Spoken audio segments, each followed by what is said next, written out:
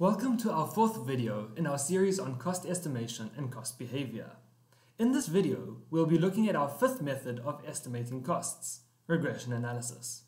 Regression analysis is also often referred to as linear regression, ordinary least squares, or OLS. Let us look at our objectives for this video. We will begin by considering what exactly regression analysis is. We will then look at the advantages and disadvantages of this method.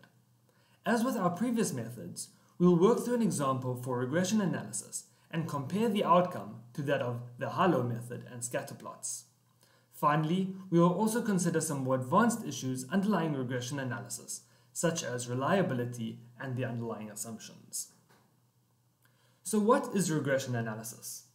Regression is a statistical technique to determine the line of best fit. So you should remember when we looked at scatter plots, we plotted the data points on the graph and visually tried to guess the best line that connected these points. Regression uses maths to do this. So how does it do it?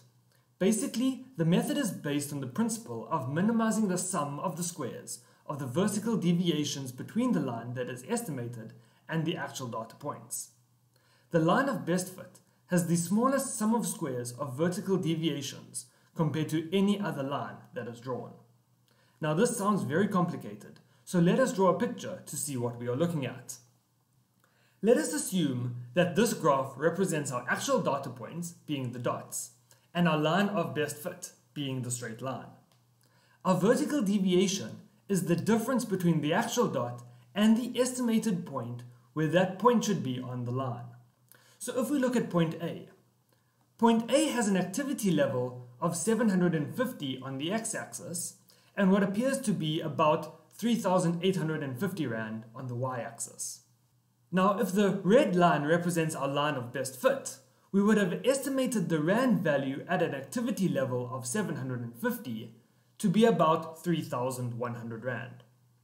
So our vertical deviation, represented by the green arrow, is 750 Rand. We square these deviations because the square of any number is positive, and what we see is that our, devi vertical deviations could be either positive or negative depending on if they fall above or below the estimated line. The goal of regression then is to minimize the sum of these squared vertical deviations. This means that the line of best fit is closest to all of our data points. So now that we know what regression analysis is and some of the basics of its mechanics, let us consider the method's advantages and disadvantages. The first key advantage is that it is objective. Therefore, everyone should arrive at the same cost equation. We also see that it is a mathematical model. As a result, we have tests to determine the model's reliability. On the disadvantage side, it can be difficult to calculate. As we will see shortly, in the past, we had to use complex formula to calculate the model. However, with advances in calculators and computers, regression has become a lot more accessible to everyone.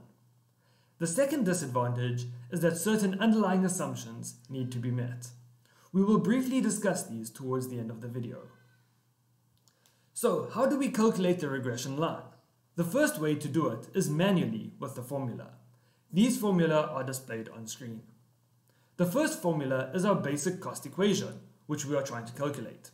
We then get two equations, one to calculate A, our fixed cost, and one to calculate B, our variable cost. It is important that you calculate the value of B first. This is because B is required when we are calculating A, as highlighted on the screen. So let us do this in an example. We will use the same example that we have used for scatter plots and for the high-low method. In this example, we have been given data for the last 12 months for repairs and maintenance. Remember, our machine hours was our X variable or cost driver, while our maintenance cost was our Y variable or total cost. Now, if we look at our equations, we ask ourselves, what information do I need? If we look at equation A, we need the sum of Y the sum of x and n. We can calculate the sum of x and the sum of y by simply adding up all the values of machine hours and maintenance costs. So we can use the sum function in Excel.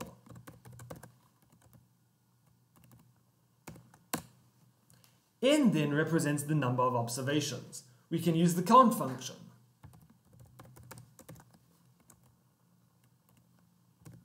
And we see that we have 12 observations. If we look at our equation 4b, we need the sum of x multiplied by y, we need the sum of x and the sum of y, which we already have. We also need the sum of x squared. Notice that for our last term, that the sum of x, which we already have, is in brackets. So we need to calculate the sum of x first, and only then square it. We also need the value of n, which we already have. So let us do these calculations now.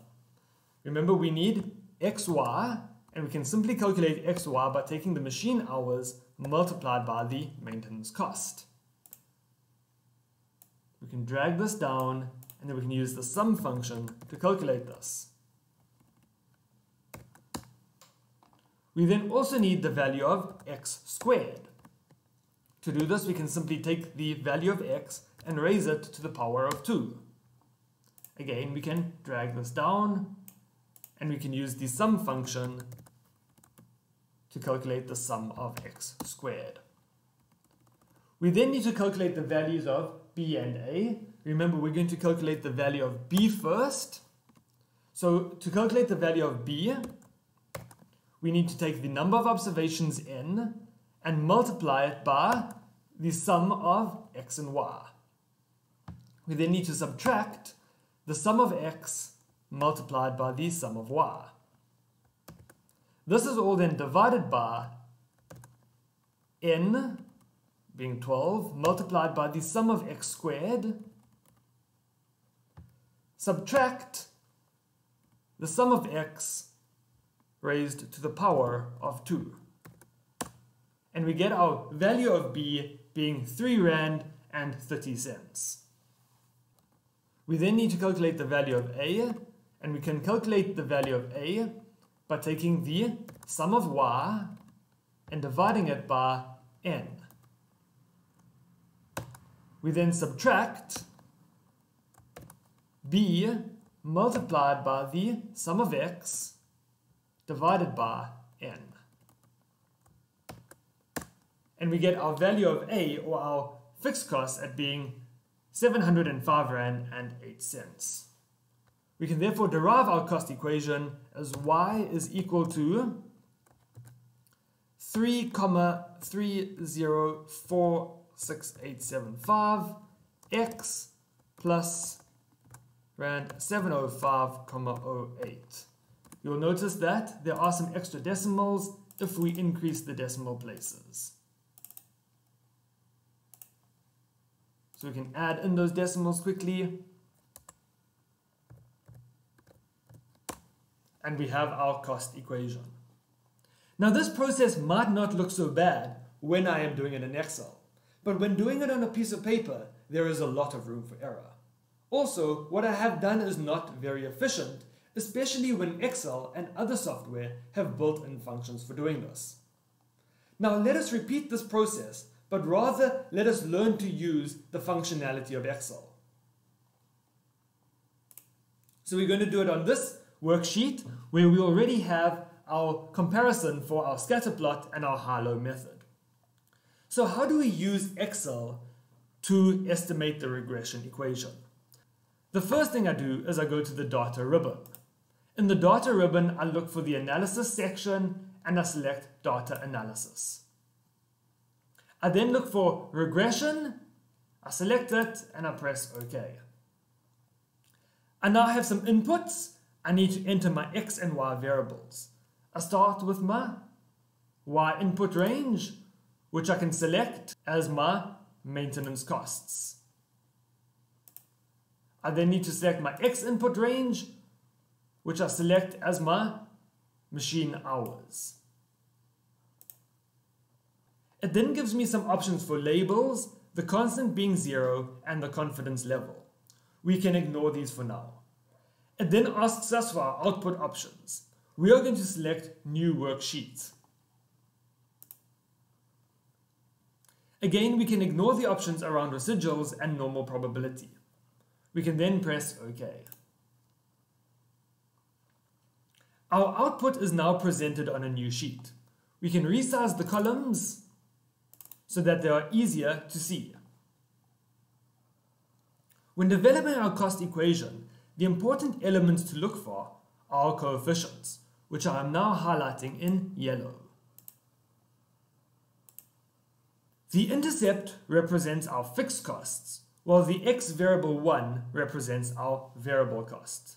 So based on this, we can see that our cost equation is going to be y is equal to 3,3046875x plus rand 705,078125, which is exactly the same as what we saw under our manual method.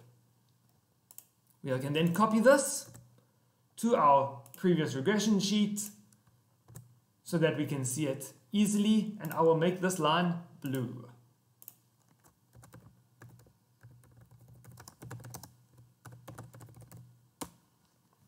Now let us plot this on the graph, like we did for the high-low method. So the first thing we need to do is estimate our points on the line.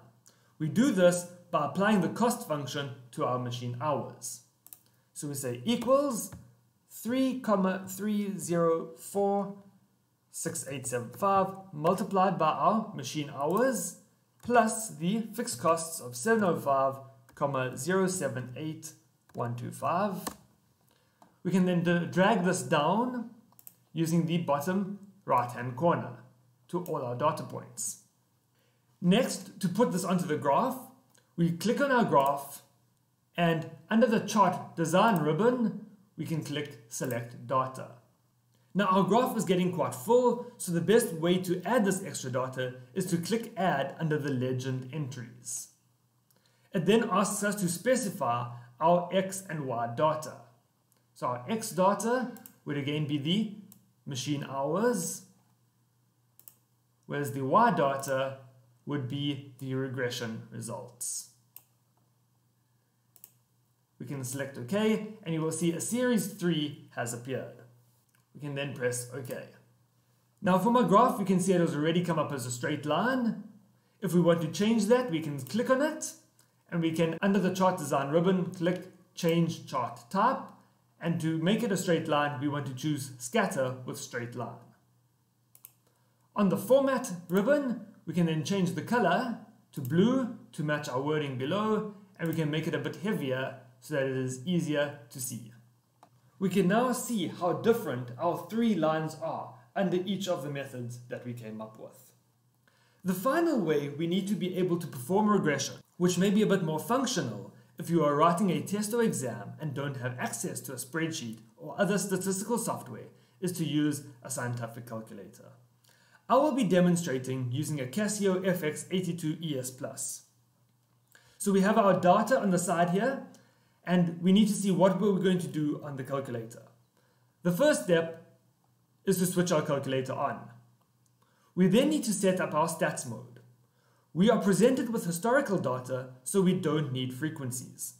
To remove frequencies, we press the Shift and Mode for the setup option. We use the arrow keys to scroll down, and we then select option 3 for stat. We select option 2 to switch the frequencies off. Now to get to stats mode, we press the mode button. We then select option 2 for stats, and we select option 2 again for regression. We are then presented with a table for x and y. We fill in the data by entering the number and pressing the equal sign. So for period 1, we would enter 400 and press equals. We then navigate to the y value by using the arrow keys. Again, we enter our value of 2100 and then we press equals. We repeat this process until all our data is entered. Once all our data is entered, we press AC. Now we, to get to our statistics, we press Shift and 1. We select option 5 for regression. Now we select option 2 for B and we press equals. This represents our variable costs and we should notice that it matches our values derived under the manual and Excel methods. We can then go back to our previous menu and select 1 for A. A represents our fixed costs. Using A and B as our fixed and variable costs respectively, we can derive our cost equation. The next thing we need to look at under regression analysis is determining the reliability of the equation we derive. We can do this by calculating the r squared. This measure indicates to us how well a change in our x variable explains the change in our y variable. The r squared will always fall between 0 and 1. A value of 0 indicates no explanatory power, while a value of 1 indicates perfect explanatory power. Therefore, the higher the number, the better. However, always make sure that the relationship makes logical sense. Again, we can calculate the r squared manually using this equation on screen. Alternatively, we can see it in Excel on the worksheet with the detailed calculations. I'm highlighting it now. Notice that Excel also provides us with something called the adjusted r squared. The adjusted r squared is a modified version of the r squared, which has simply been adjusted for the number of independent variables used to predict the dependent variable. Finally, we can also calculate the r squared on the calculator. Again, once we have entered our data, we want to press Shift and then 1 to get to our main menu. We press 5 for regression data, and we press 3 for r. Remember to use the square function before pressing the equal sign to arrive at the r squared. Now let us very briefly look at some advanced issues around regression. We are only going to look at these briefly, and I encourage you to look further into them. The first issue is multiple regression analysis. Often what happens is that one cost driver cannot sufficiently explain the cost. With multiple regression analysis, several cost drivers can then be used to estimate the cost. On screen is a comparison of simple regression analysis compared to multiple regression analysis. We also need to then consider the various underlying assumptions of regression analysis. The first assumption is linearity. Linearity is basically that our data represents a line rather than a curve. In our first graph, we see that the points make a straight line upwards. In our second graph, however, the points form more of a curve, which decreases initially, turns around, and then starts to increase. Our next underlying assumption is multicollinearity. This refers to a correlation amongst the x or independent variables.